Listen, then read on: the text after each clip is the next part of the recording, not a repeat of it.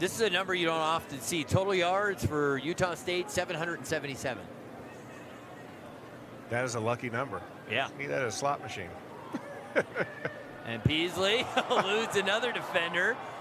And wasn't he way past the line of scrimmage? what the heck is going on here? Yeah. Flag was thrown. I mean, he was three or four yards You past. can't contain hot sauce, Ari. Shake and bake.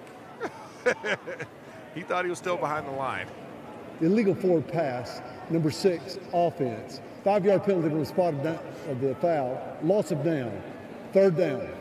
Now, David Yost, he is the magician behind this incredible offense.